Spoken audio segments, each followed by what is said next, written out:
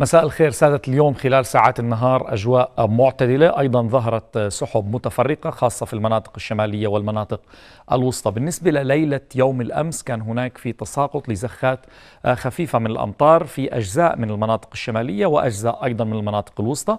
هذه الليلة آه، في العاصمة عمان الآن تسجل 21 درجة مئوية وغالبا الأجواء صافية الملموسة أيضا 21 ولكن هذه الليلة ترتفع نسبة الرطوبة بشكل واضح وملموس 81% سرعة الرياح 14 كم في الساعة واتجاه الرياح هي رياح شمالية غربية. هذه الليلة من المتوقع أن تتراجع درجات الحرارة بشكل واضح ولكن ترتفع نسبة الرطوبة. أيضا بشكل واضح وملموس تواجد لسحب متفرقة إن كان في المناطق الشمالية أيضا المناطق الوسطى وحتى في المناطق الجنوبية منها طبعا المرتفعات الجبلية.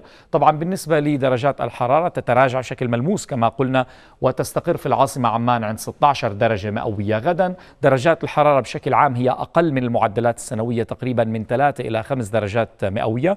خلال ساعات نهار يوم الغد آه، قد تشهد سماء المملكة في المناطق الشمالية تساقط لزخات من الأمطار. أيضا تواجد لسحب متفرقة. تبقى رياح نشطة تثير غبار وأتربة خاصة في المناطق الصحراوية إن كانت الجنوبية وأيضا الشرقية. وهنا أرجو الانتباه من تدني مدى الرؤية الأفقية. درجات الحرارة في العاصمة عمان نتوقع أن ترتفع لتسجل 27 درجة مئوية. استعراض سريع لدرجات الحرارة إن كان الليلة أو يوم الغد. المفرق 16 28 في إربد. احتمال غدا زخات محلية من الأمطار 26 رأس منيف أيضا نتوقع تساقط لزخات محلية من الأمطار. عجلون 26 في جرش 28 والزرقاء 18 إلى 29 درجة مئوية وأيضا ظهور لسحب متفرقة صويلح 24 السلط 27 وفي الفحيص من 17 إلى 27 درجة مئوية. غرب عمان 25 شرق عمان 16 إلى 27 في دير علا 34 درجة مئوية. البحر الميت ترتفع إلى 37 منطقة مطار ملك علياء الدولي 28 درجة. وادي الموجب 31 الكرك 25 الطفيل 11 إلى 25 درجة مئوية.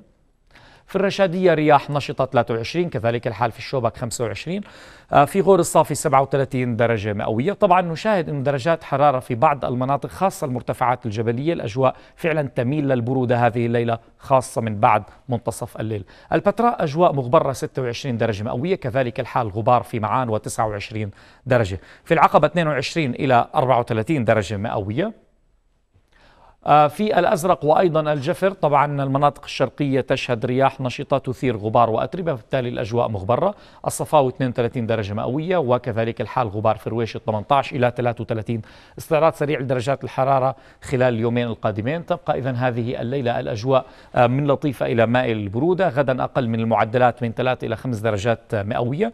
يوم الأحد أيضا من المتوقع أن تشهد سماء المملكة خاصة في المناطق الشمالية يعني تساقط لزخات محلية يعني خفيفة من الأمطار وطبعا هناك تراجع على درجات الحرارة بشكل عام الأجواء ما بين معتدلة إلى لطيفة. هذا ما كان لدينا من الأخبار طقس والعودة إلى الزميلة هديل.